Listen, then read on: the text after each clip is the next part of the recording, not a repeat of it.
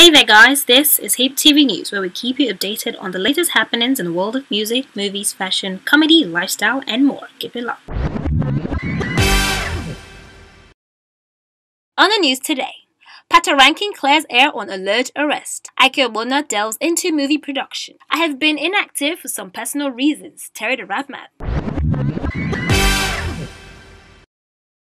Now we have the news in details. Hi.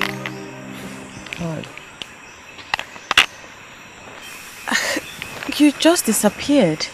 Um, actually, I had to go meet up with someone. It is no new thing to see entertainment practitioners diversify in, in their craft, and such is the story of talented actor IK Ogbonna, who is currently exploring the world of production. In this chat with Hip TV, the actor who had his wife right beside him shares this about him going into movie production. I just took my game up a, a, a notch, um, started producing, uh, produced my second movie. I had to hit the market. The first one is Knock Knock coming on on online and um, follow me on Instagram. I mean, I'll keep you updated on, on online.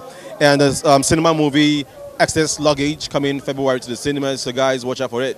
He also wades into Daddy Freeze's submission about celebs who post their charitable deeds on social media. Honestly speaking, I mean, um, people follow us to see our life and what we're up to, what we're not up to.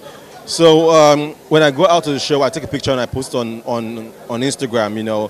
When I'm out there with friends, I post a picture and post, I take a picture and post it, keeping you up to date with what's happening in my life. So when I go to, to, to do charity and I post it, I'm not trying to show off.